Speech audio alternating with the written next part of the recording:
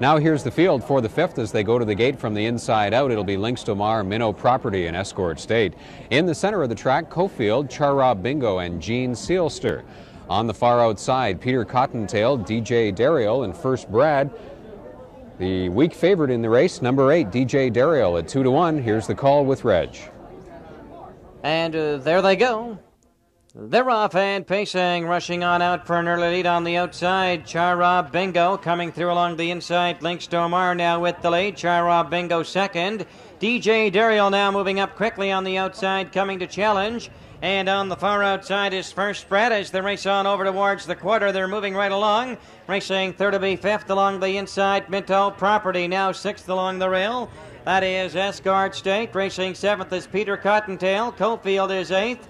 And trailing the field is Gene Sealster, the first quarter in 28 and 4. Racing through the stretch for the first time on the outside. First Brad coming on. And at the rail, DJ Dariel racing along in second. Racing third is Links Domar. In fourth is Chara Bingo. And coming on the outside to regain the lead is DJ Dariel. First Brad in at the rail second. Links Domar now third. Racing fourth, Chara Bingo, Minto Property. And there goes Peter Cottontail on the outside.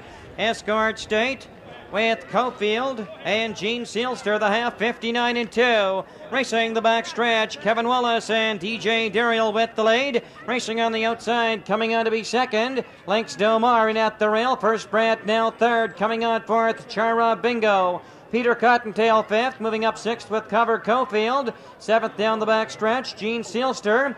Racing eighth, Escort State, and off stride, trailing the field, Minto Property. Racing on past three quarters, DJ Dariel still with the lead. Three quarters, 129 and 2 around the far turn, DJ Dariel.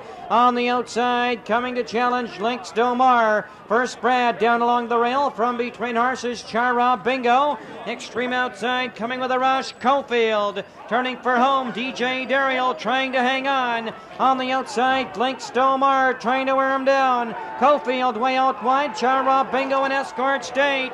DJ Dariel and Links Domar together.